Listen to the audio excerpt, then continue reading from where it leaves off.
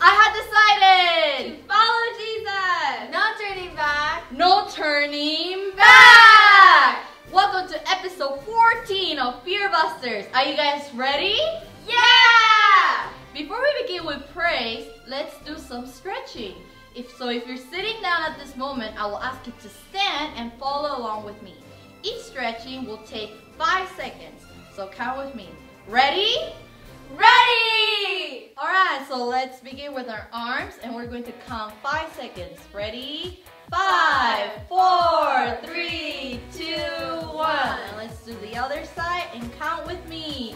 Five, four, three, two, one. Great job, everyone. And now I want you to try to touch your toes and count five seconds. Five, four, three, two, one. We're gonna the last step. I want you guys to put your arms up. We're gonna go to the side and stretch side and count with me. Five, four, three, two, one. Other way. Ready? Five, four, three, two, one. And now let's shake our hands. Shake your arms. Shake your left leg. And shake your right leg. Now shake your whole body. Woo! Lose it out, lose it out, lose it out. Alright, let's begin with praise. Come on now, join with me, everybody sing.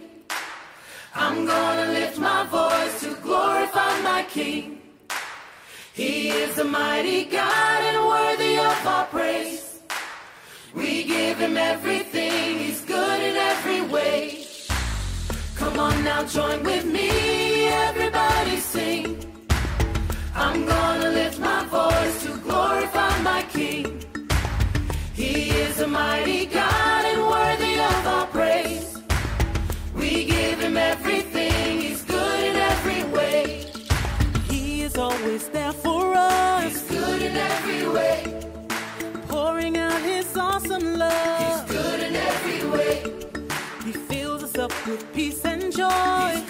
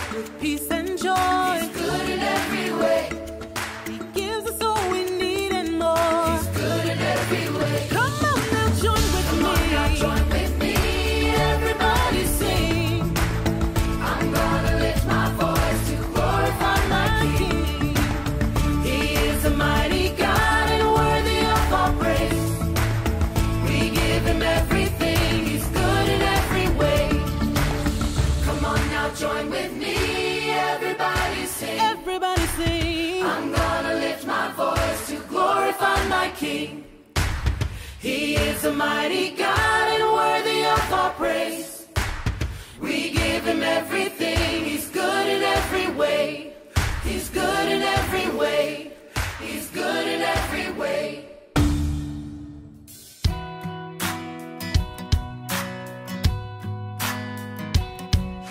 It's so much brighter living in your world. Savior, what you did for me. You gave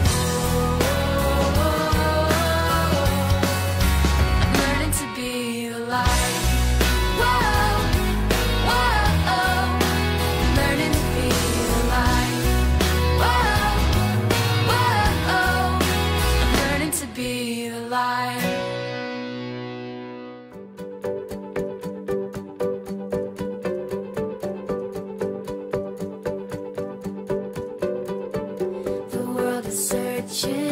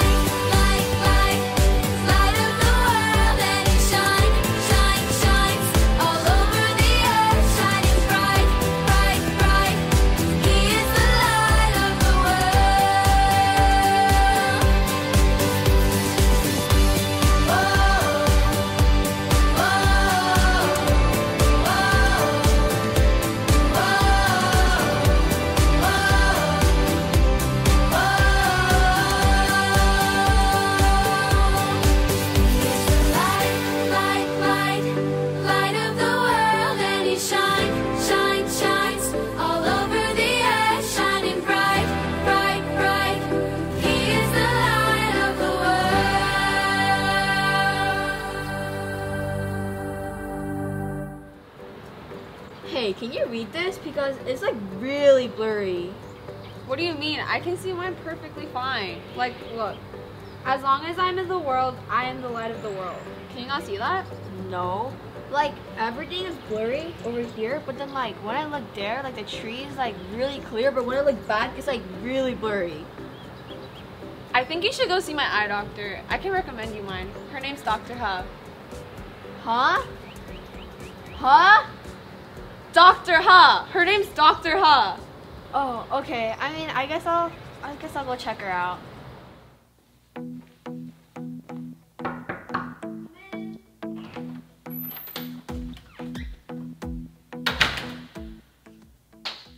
Welcome to Eyes of the Heart Clinic. How can I help you today? Um, I was reading the Bible today with my friend, and I couldn't see the passage at all. It was like I was blind to what God is trying to show me. I don't know, I'm confused. Rachel said you could help me. Rachel is my favorite patient. Anyway, about your problem, many people have come to me with the exact same issue of yours. Oh, really? How can I fix it? Well, we'll first go through a couple of tests to see how bad your eyes are and then prescribe you with the right glasses. The test will take around 15 minutes. Are you willing to go through these tests? Yes, anything to fix this, please. Before we start, can you fill out this form? Yeah. My name, Lena. Date is 6 28 2020. Date of birth, we don't talk about that. Last checkup, I don't know. Do you go to church? Yes. If yes, how often? Once a week. Do you go to church because you want to or are you forced to? Forced to. On average, how much time do you spend with God during your week? Only on Sundays. Do you pray? Yes. If yes, how often? Before I eat, Do you worship God daily? Explain. Um, I know the praise song.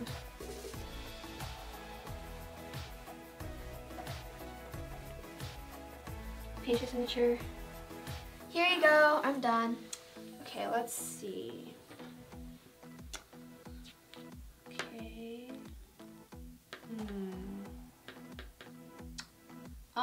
Okay, why don't we take the first test first? Okay, so I'm gonna need you to rest your chin on this right here. Yeah. And then we're gonna go with the right eye first. Yeah. And then you're gonna see a cross. I'm just gonna need you to look at the cross, okay? Okay.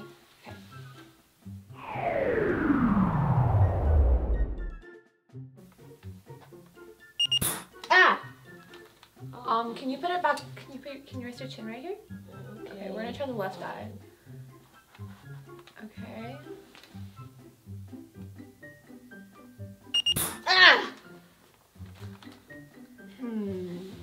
Um, let's just move on. Follow me into my office. Can you stand behind this line right here? Yep.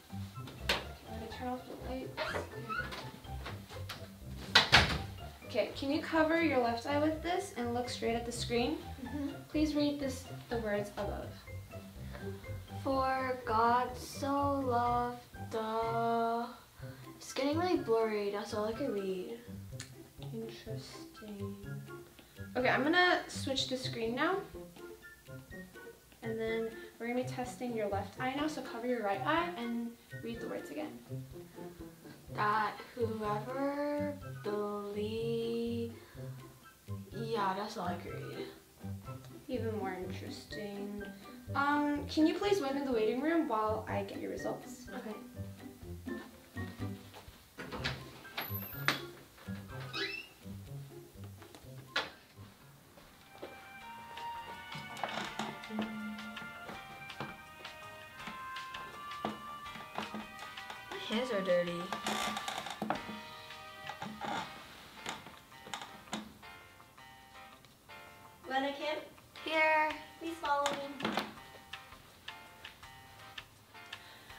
Results. You can come sit here.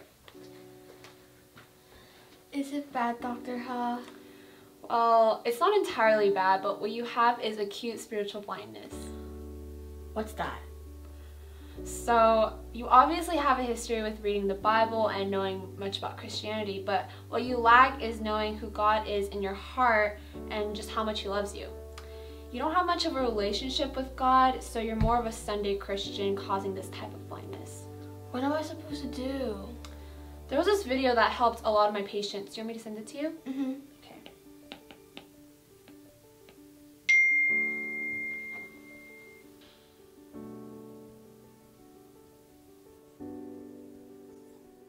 One day, Jesus was walking with his disciples when he saw a man who had been born blind. The disciples asked, Teacher, why was this man born blind? Did this happen because of his sin or his parents' sin? Jesus answered them by saying that it was neither his sin nor his parents' sin that caused this, but that this man was born blind so that people can see God's power through him. Jesus then got some mud and placed it on the eyes of the man who was blind and said, Go and wash in the pool of Siloam. The man did just as Jesus had instructed, and when he came back, he was able to see. Everyone around were amazed, so they took the man to the religious leaders and they asked him how he was healed. After explaining about what had happened, the religious leaders were furious because Jesus had healed on the Sabbath again. Their reactions revealed a different kind of blindness spiritual blindness. Jesus came to the man once again and asked, Do you believe in the Son of Man? He then asked who the Son of Man was, and Jesus revealed that it was him. Afterwards, the man worshiped Jesus, exclaiming how he now believes in the Lord. Our sin makes us unable to see the truth about God. Jesus came as a light in a dark world and gave us sight to the true understanding of God and His kingdom. Blindness is a disease or condition where you cannot see. The closest experience that I had to being blind was when I was a child. I had pink eye, and the doctors prescribed eye droplet medicine that I would put it in my eyes. It was red and swollen. I just couldn't see for hours. And I remember it was so frustrating because I couldn't even just get out of my bed and go to the kitchen for some water or go use the restroom. I just couldn't see. So I was stuck. A person that we see in John chapter 9 today is a man who was blind, not just for a couple of minutes, but for his entire lifetime since birth. Could you imagine? Ever since you were born. And, and he's a man, the Bible says, so he's pretty old. For his entire lifetime, he didn't see the face of his parents or the sky or the trees or the stars. Imagine his entire lifetime, he just heard things and felt things, but had no idea, just imagined what they would look like. Jesus comes to this man in John chapter 9, and we see this amazing encounter Jesus heals him. Could you imagine what this person felt like? His eyes open. For the first time, you could see things that are red or yellow or green or blue. And oh my goodness, I'm pretty sure it, the experience that he had was something he couldn't describe with words. Another reason why he was probably overjoyed was because he could interact with people he could worship. In, in, the Old Testament and in the biblical times, when you were not perfect, when you had a disease or if, you, if there was um, um, something that was wrong with your body, you could not go and worship. You had to just stay outside. But this person, now being able to see, it opens up so many different possibilities. We see that when he was blind, that he was a beggar. And so he was at a place begging from different people for money or for food, and people would recognize him. But when he w- his eyes were opened again, people around him were like, wait a minute, isn't this, yeah, that's the beggar. That's the person that was couldn't see. And oh my goodness, he can see. And so they came up to him, and they asked him, what happened? The Pharisees, they came up to him and asked him, what happened? And this person explained this person called Jesus, he healed me. And the Pharisees, they, they couldn't believe it. They just couldn't believe what had happened. So they even brought his parents to make sure that was their son. And the father and mother finally, they say, yes, this is my son, and he's better. But it's interesting. The Pharisees, rather than rejoicing of what happened, of this person being healed, instead of being happy with them, they cast him out. Wow. His entire lifetime, this blind person was cast out. Finally, he's healed and he can come back in, but the Pharisees, they cast him out again. Imagine the disappointment that this blind man must have felt. But Jesus approaches him again and he says this. In verse 35, it says this Jesus heard that they had cast him out, and having found him, he said, do you believe in the Son of Man? At that moment, what do you do? He answered, And who is he, sir, that I may believe in him? Jesus said to him, You have seen him, and it is he who is speaking to you. Jesus is saying, I'm not just your healer, I am your God. Verse 38, he said, Lord, I believe, and he, worshiped him. Brothers and sisters, our God is a powerful God. Amen. Our God is not just someone who just makes us and forgets about us. Our God cares for you and I. Our God heals the blind. In Isaiah, it talked about a Messiah who would come and heal those who couldn't see for themselves. And we see here in John chapter 9 a God, the Creator, who comes to this world and cares for the broken and heals this person's blindness. Rather, it was the Pharisees who could actually see with their eyes, but spiritually, they couldn't recognize who Jesus was. They didn't want to accept who Jesus was. Brothers and sisters, sometimes we are able to physically see, But there are moments in our lives where spiritually we're blind to really receiving God in our hearts. What does that mean? It means we just don't want to hear what God says or do what God says. It's almost like, God, you know, I don't want to do that thing. You know, right now, um, maybe some of you guys are discouraged and you just don't want to hear it anymore of what to do. Or maybe you're just sick and tired of hearing that Jesus loves you and that Jesus cares for you. But, brothers and sisters, here, John chapter 9 is talking about two groups of people the blind man whose eyes were open physically but also spiritually but the Pharisees, who were blind spiritually, they could see with their eyes physically, but spiritually, their hearts were hardened and they rejected God. Let me ask you this morning where is your heart? Is your heart excited to worship the Lord and recognizing God as our healer and Messiah and saying, God, you are amazing? Or was it really hard for you guys to get out of bed? and, and you really didn't feel like worshiping and felt like the Pharisees where you just wanted to be like, God, you know, I don't really care about you right now. Let me just do my thing. I pray that God would open our eyes, amen, that we may trust in the Lord today as well we are in this coronavirus thing and things are changing every day. As a matter of fact, here in California, the amount of people getting the coronavirus are increasing, and we may wonder, oh my goodness, I thought this was supposed to get better, not worse. How long, Jesus? How long, oh God? But we are called this morning through the Word of God to trust in Him, to trust in God, recognizing that He is our healer and our guide. At this time, let's pray together. And let's trust the Lord once again. Let's pray. Dear Heavenly Father, Lord, I just want to pray for all of us here this morning. Lord, that we may trust in you. We learned today about two groups of people this blind man and the Pharisees. One person's eyes, both physical and spiritual, were opened because they wanted to worship you and they believed in you. But the Pharisees, they rejected you God, I pray that if our hearts are hardened this morning, Lord, give us open hearts so that we may trust in you today as well and this week. Help us to really trust you in these difficult times and knowing that you are our God and our Savior and our healer. So, Lord, be with us, Lord. Humble our hearts this morning as well. Lord, we thank you. We praise you.